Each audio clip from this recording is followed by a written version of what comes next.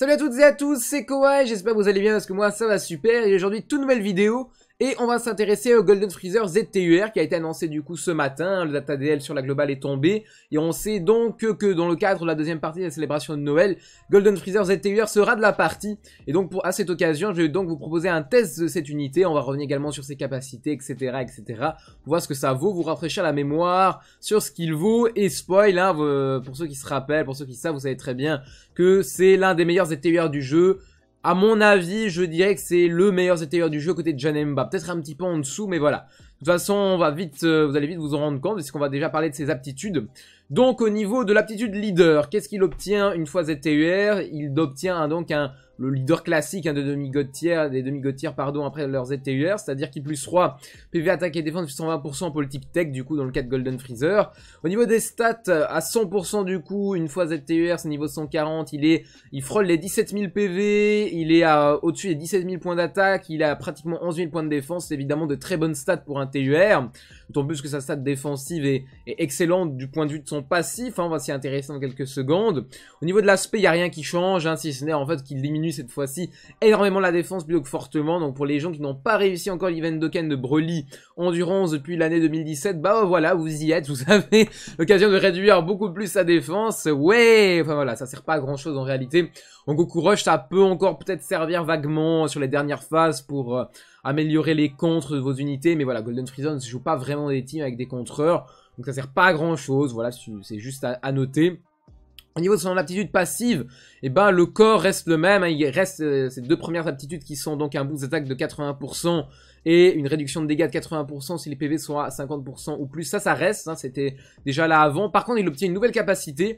Et maintenant, et c'est ça qui fait vraiment la différence sur cette unité, hein, qui fait que cette unité devient incroyable défensivement parlant.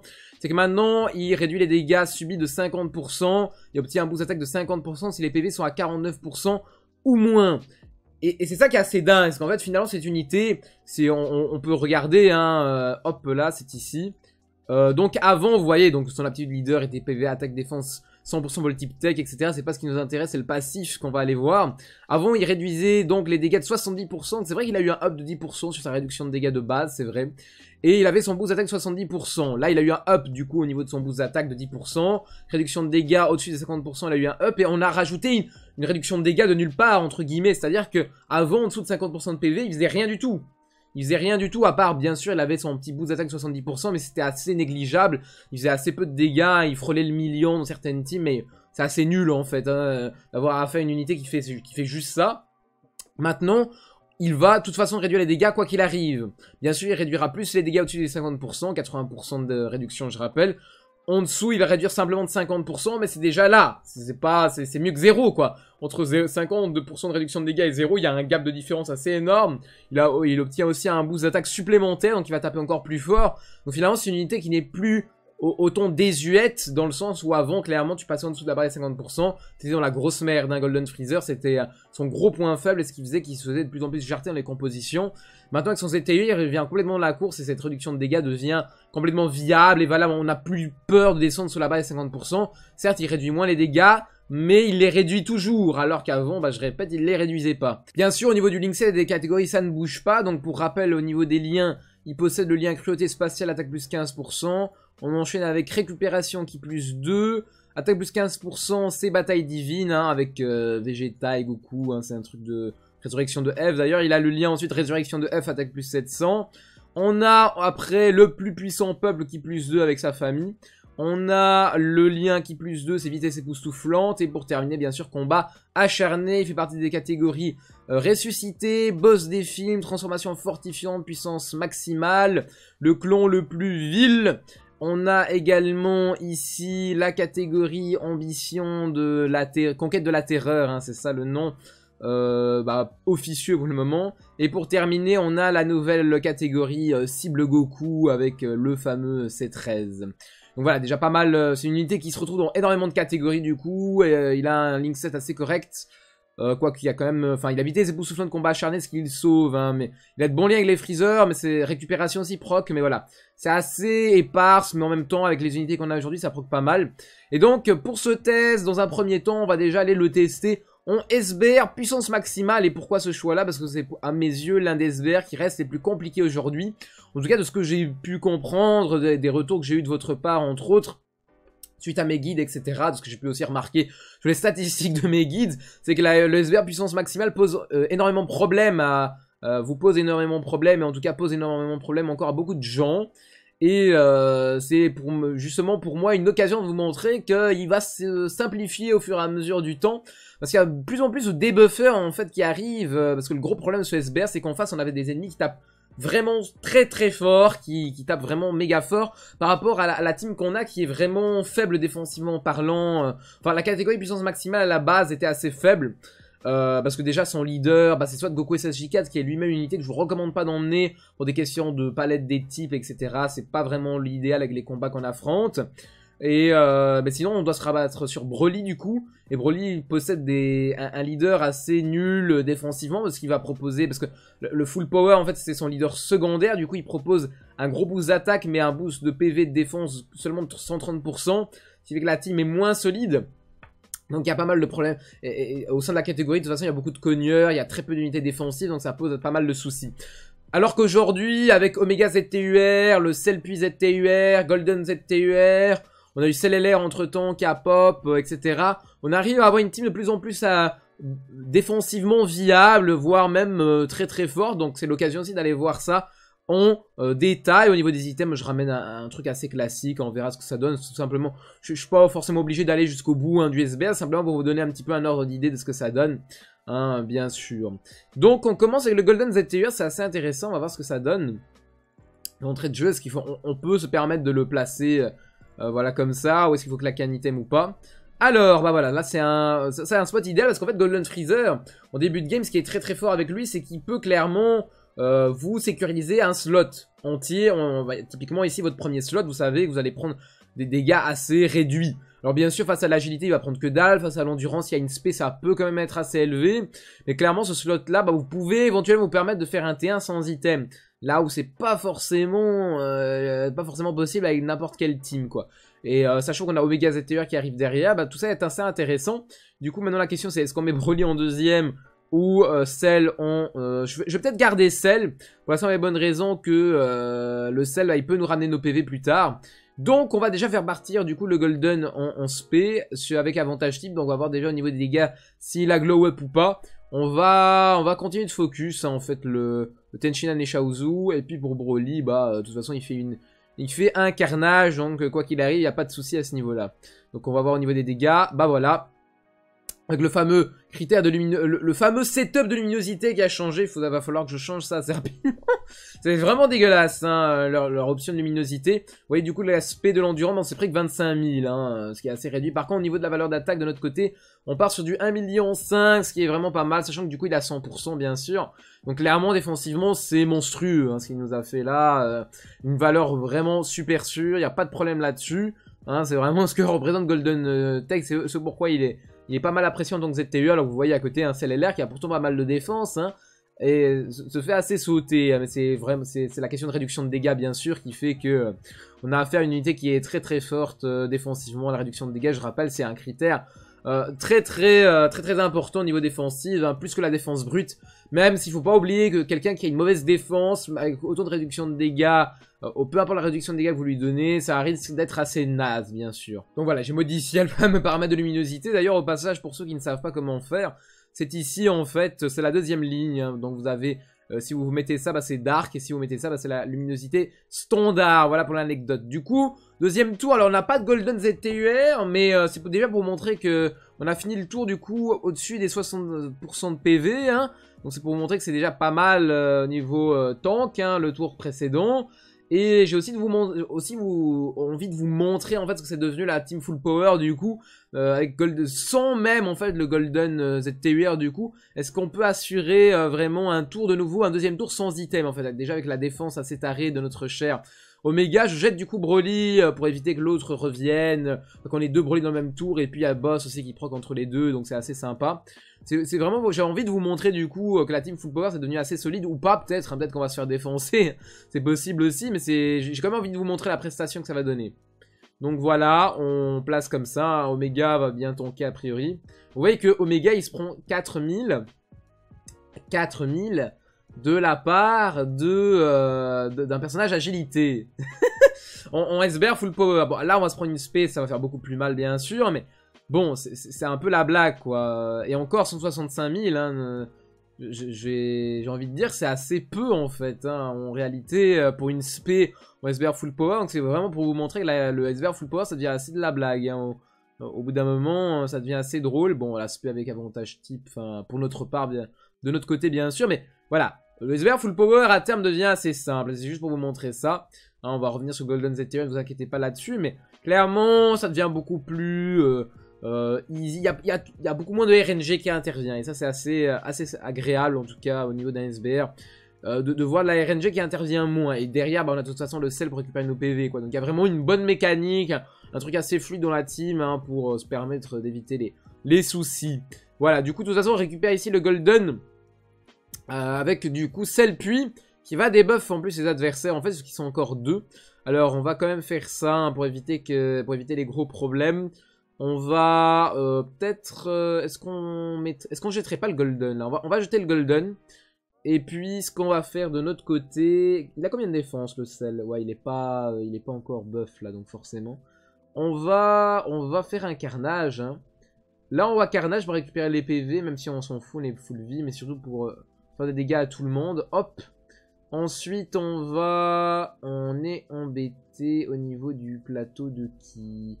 On va faire... On va... On va pas pouvoir débuff, du coup, on va juste faire ça. En attaquant, du coup, le Tenshinhan. Et pour terminer, on va tenter de finir le Tenshinhan. Hein. On va revoir la prestation défensive de cette rotation, voir ce que ça donne. Euh, notez que c'est le plus ZTUR aussi, là, un joli glow up. J'avais fait une vidéo à l'époque hein, de, la sortie de son ZTUR. Un glow up assez sévère. Qui débuff... Euh, il, fait beaucoup plus, mal. On voit qu'un LR, quand il est pas trop buff, bah, il fait autant de dégâts que le carnage. C'est le puits, donc bon, c'est assez drôle. Derrière, on prend pas non plus les masses. Hein. Peut-être le Yamcha va nous faire plus de dégâts, 54 000, oui. Mais euh, derrière, Golden ZTUR va assurer. Donc, vous voyez, vraiment, moi, je trouve, euh, ça très, très agréable. Hein. Cette team full power, ce qu'elle a pris comme glow up, je trouve ça vraiment méga agréable. parce que vraiment, vraiment, au niveau défensif, il y a des problèmes de ouf. Quoi. Il y a vraiment des problèmes de fou furieux. Et pour la beauté de la chose, je vais quand même vous montrer le finish de, ce combat. Hop. Du coup, on va euh, faire ça comme ça, tiens. Hop là, voilà. On va envoyer Omega et puis derrière Broly. A priori, on peut donc finir ce combat... Euh, bah, moi, dans aucun monde, j'imaginais finir ce combat sans item. C'est la première fois que je, teste un peu le truc sur le cul, là. Euh, et là, pour le coup, c'est assez impressionnant hein, de voir le, prestation-là de la team. au rythme répété, bien sûr, mais c'est assez fou, quoi. Donc voilà, au niveau de ce premier combat, vous avez vu que le, bah, l'ensemble, en fait, clairement, avec ce Golden ZTUR, bah, il, fait clairement l'affaire, ça se passe très très bien, quoi. Et Golden ZTUR fait très très bien son travail, le reste également. On est donc maintenant au deuxième combat, et j'ai donc l'occasion de vous montrer ce que vaut Golden Freezer avec son deuxième passif activé, qu'on est sous la barre des 50%, j'ai bel et bien vérifié avec calcul. Et d'ailleurs, en vérifiant avec le calcul, je me suis rendu compte d'un truc que, j'avais oublié, en fait, c'est que ce fameux boost d'attaque de Golden Freezer, hein, de supplémentaire de 50%, se multiplie en fait avec le boost de 80% et donc ce n'est pas simplement 130% d'attaque, c'est en fait 1.8 fois 1.5 et donc ça donne un truc dans le style, hop, bah voilà, ça donne du coup 170% euh, en fait de boost d'attaque en réalité et euh, bah du coup c'est pas mal quoi.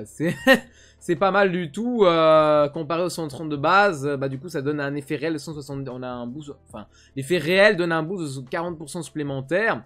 Et donc euh, ça risque d'envoyer du lourd. Alors au niveau de la rotation, bah du coup on avait Omega C21 si vous vous rappelez bien. Du coup on va mettre notre cher ami Golden au début. On va voir ce que ça va donner. Du coup, sachant on a le debuff hein, de 40% quand même, c'est pas rien. On va voir avec sa réduction de dégâts amoindrie ce que ça vaut. Est-ce qu'il tient toujours la route défensivement parlant ou pas, hein, sachant que du coup, encore une fois, il y a ce fameux debuff, hein, je précise, parce que c'est quand même un debuff assez fou, qu'on a, c'est pas n'importe quoi. Je vais de nouveau pas claquer d'item, pour la simple et bonne raison qu'en fait, j'ai Cell LR derrière qui peut me régénérer, donc je suis relativement safe, quoi. Et quoi de mieux pour voir si il est valable défensivement qu'une spé? On va voir ça. Alors, 60 000. 60 000 en, neutre. Bah, inutile de dire que que, c'est que dalle. Et derrière, il tape à 2 millions, 2 millions 3 pratiquement. Sachant qu'il a pas du tout tous ses liens activés. Il, a encore, il avait encore cruauté spatiale, bataille divine, etc. qu'on aurait pu proc. Mais bon, évidemment, ce sont des liens qui sont difficiles à proc tous en même temps, en fait. Hein. Clairement, bataille divine, tu le proceras jamais, probablement. Ou en tout cas, si tu le proc, il y, a très peu de chances que tu joues un autre Freezer dans la même team, à part si tu joues des teams un peu bizarres et exotiques, mais euh, sinon, c'est à peu près tout, quoi. Mais euh, voilà. Sinon, il tape quand même assez fort, hein, dans un contexte assez banal avec euh, Fierce Battle simplement activé. Et défensivement parlant, bah là, on, de nouveau, on avait le debuff, donc c'était un petit peu faussé, mais ah, ça, tient assez bien la route, quoi. voilà donc rendu au dernier combat de ce SVR Full Power avec euh, exactement zéro item claqué. Le Dokkan Mode est là.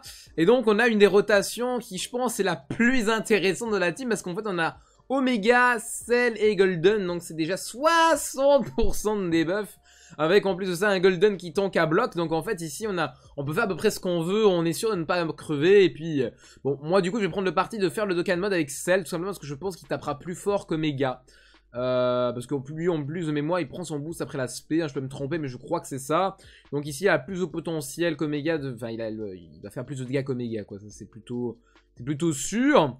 Et euh, en fait le Golden je vais le jeter ici parce que cette rotation elle est quand même très très intéressante et peut-être que ça me donnera l'occasion de vous montrer Golden sans un des buffers à côté. Voir ce qu'il fait euh, face à peut-être un... Parce que bon, j'imagine bien que le il va survivre, donc ça me donnera l'occasion de vous montrer Golden Tech dans un contexte sans des à, contre-type, hein, si vraiment il tient la route ou pas.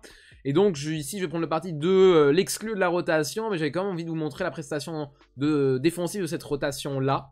Avec euh, en plus le de mode derrière, hein, vous voyez voilà ce que ça donne. Un le full power maintenant. Euh, je rappelle donc que c'était l'un des SBR les plus compliqués. Donc le Dokkan Mode que j'ai pris, hein, que, dont, j'ai pris le parti en fait de ne plus le faire sur le PC tout simplement parce qu'en fait en général je le rate. Donc maintenant je le fais sur le téléphone même. Ouais, qui monte à 2 millions, hein, alors que Omega Shenron a besoin, je crois, de Big Bad Bosses pour dépasser les 2 millions. Donc euh, je pense que c'était bien le, bon choix. De toute façon, voilà, les dégâts sont assez sévères.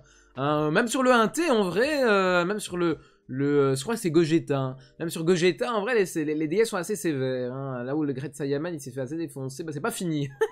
c'est pas fini. Derrière le Omega qui vient derrière, voilà, voilà la petite punition. Et euh, du coup, Golden Tech qui, euh, bah, qui vient rajouter sa petite euh, part à l'édifice. Ce serait bien une petite spé. Ah voilà bah, Du coup, on va pouvoir voir avec le debuff une spé de l'intelligence sur Golden Tech. Voilà, 86. Super, merci d'être venu. Voilà, ce fut assez comique. Du coup, je vous retrouve avec une rotation avec Golden Tech qui est intéressante. Bon Voilà Voilà où on en est, euh, c'est qu'en fait la team est légèrement trop forte en fait. la team est vraiment légèrement trop forte, en tout cas je pense qu'on a vu le rôle de Golden Freezer dedans. Je pense qu'on a vu a priori le rôle de Golden Freezer dedans, c'est quand même en grosse partie grâce à lui qu'on a réussi à faire ça. Bien sûr, il y a, y a pas que lui, hein, on l'aura remarqué, il y a beaucoup de dégâts, il y a beaucoup de... Il y a celle qui ramène les PV assez régulièrement, on a euh, du debuff, tout ce que vous voulez, mais c'est un, un beau pivot, quoi. Clairement, c'est un slot très safe, quoi qu'il arrive. Mais euh, non, la team en jette vraiment, euh, la, team en jette vraiment beaucoup. Sachant que le temps, en plus, il est faux, parce que vous imaginez bien que j'ai fait des cuts et compagnie, j'ai pas foncé euh, droit dans le tas. Mais bon, c'est quand même relativement drôle, cette prestation de Golden Tech ici. En tout cas, voilà. Je, pense pas les tester en Goku Rush, parce que le Goku Rush, ça va être assez identique, en fait. Hein. Il, presse de la même manière, hein, d'autant plus qu'en Goku Rush, on peut imaginer une team avec Janemba, avec qui il fonctionne très très bien, mais l'idée c'est vraiment de comprendre que le gars prend zéro dégâts. Quoi qu'il arrive, on voit beaucoup de dégâts aussi. C'est clairement une unité qui, défensivement parlant, est complètement viable quoi qu'il arrive. Bon, peut-être qu'à contre-type, ça peut être dérangeant. Euh, ok, là on est bien d'accord. De toute façon, il y a peu d'unités qui à contre-type vraiment gèrent complètement la situation, à part justement Janemba, mais Sinon, euh, et encore à contre-type, je dis bien quand il n'a pas la réduction de 80%, quand il est en dessous des 50% de PV, ou il a sa réduction uniquement de 50%. Mais sinon, je pense qu'il gère un ennemi à contre-type à 80% de, de, réduction de dégâts. Hein, mais voilà. Pour vous montrer un petit peu euh, ce que vaut ce Colosse Golden Tech, clairement l'un des meilleurs CTUR, foncez pour aller le récupérer si vous ne l'avez pas encore fait. En tout cas, pour ma part, je vais terminer la vidéo ici. J'espère que vous aura plu. Hein. Sais qu'on n'a pas trop vu Golden Tech à l'œuvre hein, non plus, j'en suis bien conscient, mais j'ai quand même envie de vous montrer ce renouveau de la team Full Power, hein, et en quoi maintenant elle roule un petit peu sur son SBR. Euh, grosse différence hein, du coup avec euh, euh, sa prestation à la sortie du SBR, grosse galère avec le fameux combo Omega Golden que j'avais proposé dans un guide, bah maintenant c'est beaucoup plus simple. Enfin voilà, si vous avez des questions, des réflexions, des remarques, l'espace commentaire comme d'habitude. Et pour ma part, je vous retrouve très prochainement pour d'autres lives et vidéos. Et sur ce, à plus.